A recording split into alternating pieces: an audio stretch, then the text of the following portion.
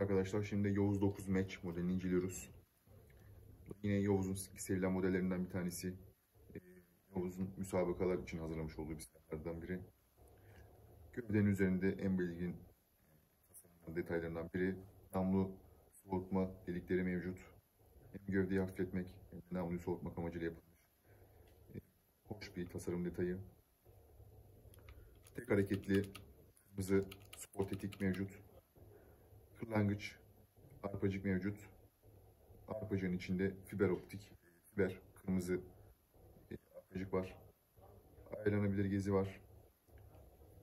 Polimerlerde az görülen bir özellik. Emniyete sahip. Emniyeti var. Namlu uzunluğu 122 mm, ağırlığı 735 gram. Şarjörü de 17 artı 1.